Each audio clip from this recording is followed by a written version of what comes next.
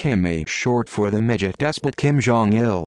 Used as a nickname for the leader, pronounced Kimmy Kimmy J.